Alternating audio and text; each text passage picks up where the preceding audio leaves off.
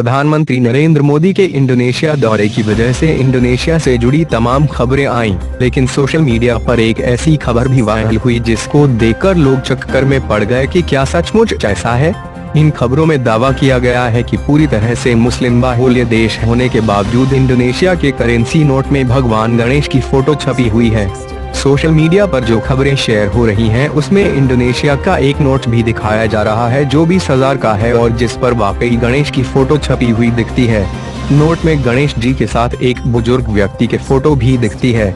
अगर आप इंडोनेशिया के नोट गूगल पर खोजना शुरू करेंगे तो आपको बीस हज़ार के जो नोट दिखेंगे, वो इससे बिल्कुल अलग हैं और उस पर कहीं गणेश जी कहीं नहीं दिखते। लेकिन गणेश जी वाले नोट की और खोजबीन करने के लिए जब हमने बैंक ऑफ़ इंडोनेशिया की वेबसाइट पर देखा तो यह नोट हमें दिख गया। वेबसाइट पर दी गई जानकारी से पता चला कि इस नोट को इंडोनेशिया की सरकार ने उन्नीस सौ अठानवे में जारी किया था। गणेश जी वाले बीस हज़ार के नोट पर छपे हुए व्यक्ति का नाम की हज़ार देवेंद्रा है जो इंडोनेशिया के स्वतंत्रता सेनानी थे और जिन्होंने शिक्षा के क्षेत्र में काफ़ी काम किया था। 1945 में वो इंडोनेशिया के शिक्षा मंत्री भी रहे थे। नोट में पीछे की तरफ़ क्लासरूम दिखाए गए हैं क्योंकि यह नोट शिक्षा की थीम पर ही छापा गया था। लेकिन गणेश जी की फ़ोटो वाला बीस हज़ार का इंडोनेशिया का नोट 10 साल तक प्रचलन में रहने के बाद 2008 के अंत में बंद हो गया। इंडोनेशिया पूरी तरह से मुस्लिम देश है जहाँ पर हिंदुओं की आबादी दो परसेंट भी कम है।